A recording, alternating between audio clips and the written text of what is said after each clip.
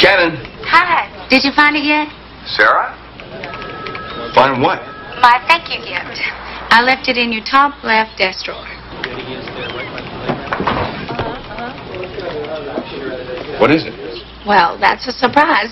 Sarah, you thanked me already. You gave me flowers. That's enough. Oh, just open it. Hurry. Hurry. You know, that's my favorite song, and, well, every time I hear it, I do think of you. Anyway, I hope you like it. Bye. I got that all.